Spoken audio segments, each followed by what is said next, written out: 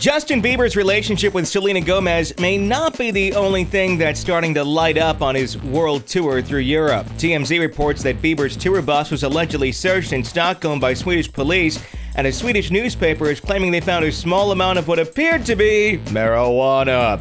This isn't the first time Bieber has been razzed by a reefer rumor. According to TMZ, no one on Team Bieber was arrested, and he may not have even still been on the bus when police raided it after reportedly detecting a strong smell of weed. It's unclear whether or not any criminal charges or future issues will stem from this alleged incident. And with Bieber in Europe, someone could just be blowing smoke.